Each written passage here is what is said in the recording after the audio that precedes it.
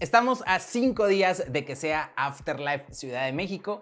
Ya tuvimos Afterlife Guadalajara y fue todo un éxito, amigos. Tuvimos nuevos visuales, hubo muchísima gente y pues ahora toca el turno de la Ciudad de México. Yo les había contado en un anterior video que iba a asistir al de Guadalajara. Lamentablemente por temas de trabajo pues ya no pude estar por allá. Me tocó trabajar en Tecatemblema.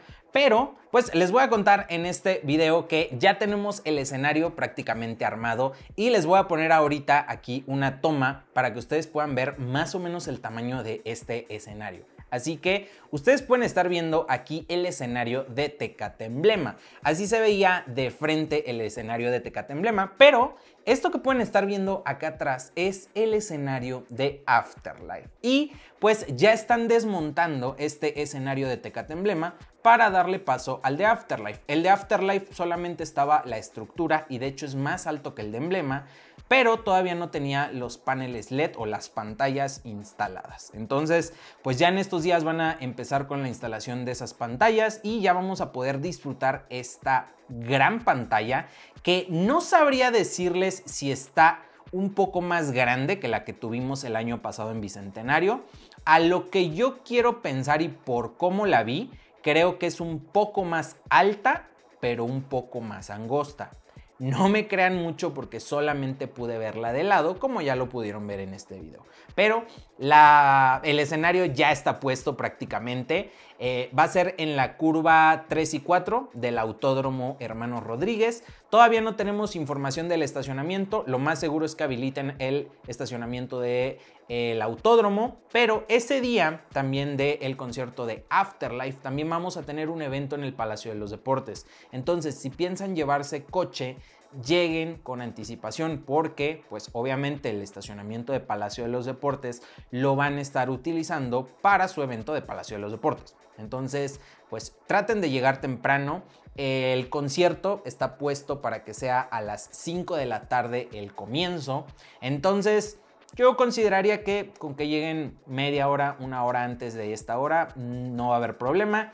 Es sábado, entonces pues no muchos trabajan, así que no hay excusa para que vayan a encontrar mucho tráfico o para que vayan a llegar tarde. Ahora vamos a pasar a hablar un poquito de lo que podemos comprar para Afterlife y en cuanto a boletos y también a transporte. Tenemos para empezar los lockers, amigos. Tenemos lockers disponibles en este evento. Y estos lockers cuestan prácticamente 287.50 cada uno. Van a tener lockers, entonces pues si tú quieres guardar tus cosas, prácticamente casi 300 pesos, vas a poder guardar tus cosas, una mochila con tus chamarras, a lo mejor, si quieres guardarlas, vas a poder hacerlo. También vamos a tener el Ticket to Ride de Afterlife, que es prácticamente este transporte que sale desde distintas ubicaciones. Si tú piensas llegar e irte en el festival en esta opción de transporte que es directamente de Ocesa y de Ticketmaster, es una excelente opción. Un día quiero probarlo, quiero irme yo en uno eh, voy a ver para algún evento, porque realmente yo vivo muy cerca del autódromo, entonces pues no hay ninguna ruta que me quede porque estoy demasiado cerca. Pero algún día me voy a poner de acuerdo con algún amigo para tomarlo y grabarles esta experiencia. Pero lo que yo he preguntado es que básicamente es un camión que te ve en un punto, sale hacia el evento, te vuelve a ver en, eh, en el evento donde te dejó, te ponen un número de camión, por ejemplo el camión número 7 y ese mismo camión sale cuando acaba el evento y te regresa al punto donde te recogió y hay distintas rutas. Eh, salen de prácticamente toda la Ciudad de México, entonces hay distintas rutas, creo que hay como 5 o 6 rutas.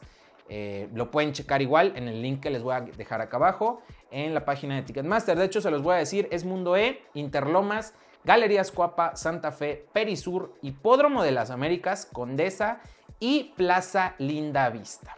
Esos son los disponibles que tenemos y cada uno cuesta 265 pesos, obviamente el viaje de ida y vuelta. Después de eso tenemos boletos VIP y tenemos boletos generales también.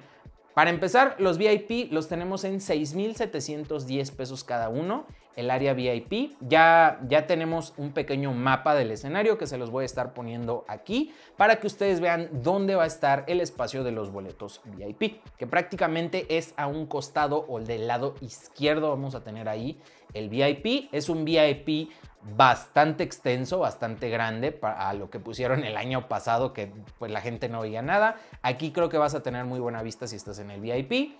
Y pues eso cuestan los boletos, están a tres meses sin intereses y tienen tarjeta de crédito Banamex. Y también tenemos pues los boletos pues individuales, los, los normalitos de toda la vida, ¿no?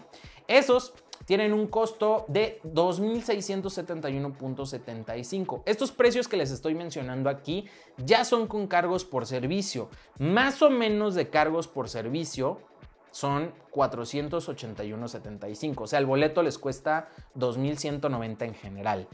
Este precio, ¿cómo lo pueden obtener sin los cargos por servicio? Yendo directamente a la taquilla del Palacio de los Deportes.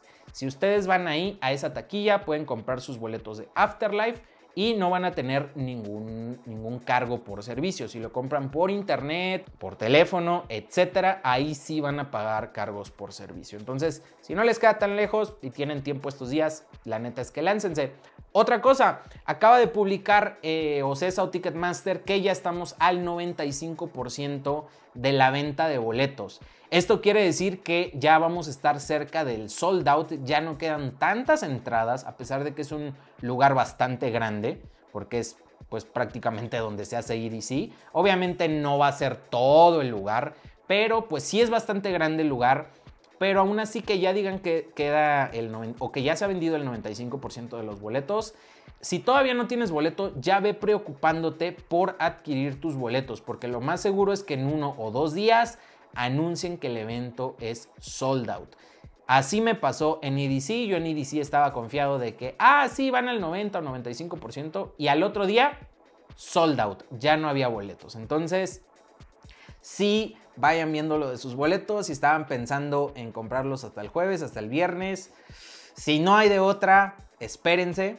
Si pueden, de verdad ya pidan prestado o algo, cómprenlos ya para que eviten estar comprando con revendedores. Yo he escuchado que los están vendiendo en la reventa como más o menos en 2 mil pesos aproximadamente, pero todavía no era sold out y, y todavía no lo es y todavía no anunciaban que van al 95% de venta. Cuando se haga sold out del evento, lo más seguro es que los boletos ya los empiecen a dar más caros, así como pasó con Holo de Eric Price. Entonces, para que no se pierdan el acceso a este festival, o bueno, no es festival, a este evento, pues ya adquieran sus boletos. Estos boletos también eh, están los generales con, el, con la opción de tres meses sin intereses en una compra mínima de 3 mil pesos. Entonces tendrían que comprar dos boletos para que pudieran entrar a tres meses sin intereses. Ahí háganle la chillón a alguien que tenga tarjeta Banamex, como de, oye, préstame ahorita, te los pago antes, antes del sábado, antes de entrar al evento. Alguna cosa así. Van a encontrar a alguien que les, pueda, que les pueda solucionar eso. Y en cuanto a los horarios, Afterlife va a comenzar a las 5 de la tarde, pero todavía no tenemos una hora de finalización de este concierto, de este evento. Rumores mencionaban que iba a ser el primer evento que iba a terminar después de las 2 de la mañana ahí en el Autódromo Hermanos Rodríguez o que se ha operado por Ocesa. Yo la verdad, bueno, Ocesa sí ha tenido otros eventos que terminen a más de las 2 de la mañana, pero en ese inmueble en concreto tienen permiso hasta las 2 de la mañana. Yo la verdad es que lo veo rarísimo, rarísimo, rarísimo que pueda terminar esto después de las 2 de la mañana. ¿Por qué? Porque más o menos estamos manejando el mismo número de artistas, tanto para Guadalajara como para Ciudad de México. Y en Guadalajara me parece que terminó aproximadamente 4 y media, 5 de la mañana. Eso, eso fue lo que vi, porque creo que Taylor Foss tocaba 3 y media y tocan normalmente hora y media, 2 horas. Entonces, Vamos a poner, si saben bien a qué hora acabó, estaría bueno que me lo dejaran acá abajo, pero vamos a poner que tocaron dos horas. Entonces, este evento está comenzando antes de lo que empezó Guadalajara, que prácticamente es a las 5. 6, 7, 8, 3 horas antes de lo que empezó Guadalajara. Entonces, si aquí acaba a las 2, allá vamos a sumarle, bueno, aquí vamos a sumarle 3 horas. 3, 4, 5, que es más o menos lo que yo les estoy diciendo. Hay medios que dicen que sí va a acabar después, Hay medios que dicen que no va a acabar después. Yo, para serles sinceros, no creo que acabe después porque esto es un tema de permiso, no es un tema de que quieran o no quieran que acabe tarde. Normalmente, pues como están en una zona donde es una zona residencial y se tiene un permiso para que los eventos finalicen a las 2 de la mañana. Hasta esa hora se puede estar haciendo mucho ruido, por así decirlo. Pero, no sé, en una de esas igual y tienen un permiso especial, eh, se puede y todos los eventos mejor los deciden terminar a las 2, pero este lo van a decidir terminar 5 de la mañana porque sí, son 12 horas de música. Lo veo muy raro amigos. Lo mejor que pueden hacer es no hacerse falsas expectativas de que vaya a acabar al amanecer. La verdad es que no creo. Pero si es así, qué padrísimo. Para nada piensen que no me gustaría que acabara al amanecer. Pero pues no lo crean tanto porque hay, hay, hay, muchas más cosas que nos dicen que no a las cosas que nos dicen que sí.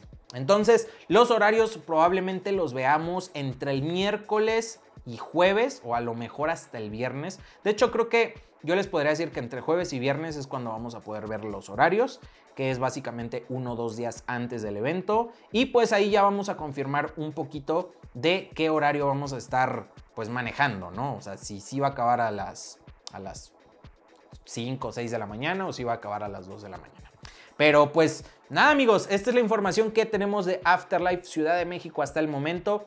Eh, no sabemos si vamos a tener nuevos visuales aquí en Ciudad de México. Yo esperaría sí un nuevo visual porque prácticamente con Ciudad de México se cierra este tour o esta gira por Latinoamérica. Entonces, creo que Ciudad de México, a pesar de que Guadalajara ya anunciaron visuales nuevos, yo creo que Ciudad de México es una sede importante donde sí vamos a tener, aunque sea un nuevo visual. O sea, yo de verdad soy fiel creyente de que vamos a tener eso, pero ya lo veremos el sábado. Y pues ya amigos, con esta información van a estar prácticamente preparados. Les quería hacer este video porque sí se me hizo... Ah, no quiero que les pase como me pasó a mí con EDC, de que estaban al 95% y por confiarme de que se quedan con su 95% dos semanas, les pase. Entonces, ya están avisados, ya tienen toda la info. Si sale información nueva, aquí se las voy a traer. Y pues nada amigos, yo soy Sidaco, que tengan un excelente día y nos vemos el sábado por allá en Afterlife Ciudad de México. Cuídense mucho, chao.